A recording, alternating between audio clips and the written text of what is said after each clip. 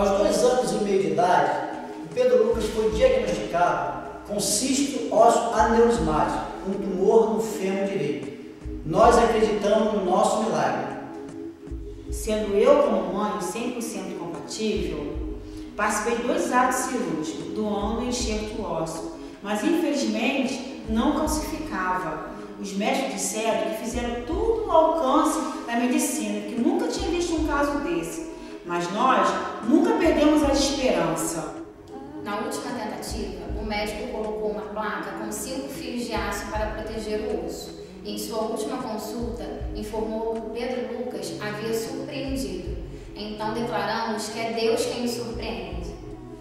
Logo após a terceira cirurgia, tivemos a confirmação do milagre de Deus na nossa família.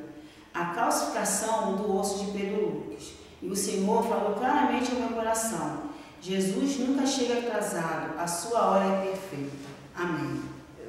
Hoje podemos dizer que tudo que Deus tem feito em nossa família faz parte do nosso milagre.